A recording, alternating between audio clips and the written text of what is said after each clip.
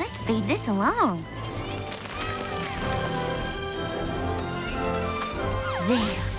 This is lovely. Hut, hut, hut, What in Neverland? Chloe! Chloe!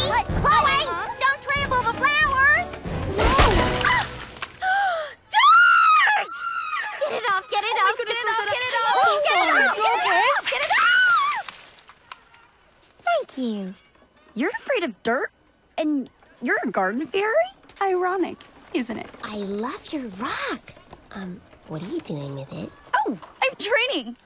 Training? For the Pixie Hollow Games, of course. I've been studying all kinds of strategies for different events and working really hard at ways to... Wait, wait, wait. You actually want to be on the Garden Fairy team? Well, yeah, don't you? No. New arrival. I'm starting to think I'm the only one who wants to be on the team. You are. Because we stink. We've never even come close to winning. We bring beauty to the world. That's what we're good at. well, why can't garden fairies be just as good as everyone else? I mean, this could be the year the losing streak ends. It would make history, and I, for one, think we can win. We can win.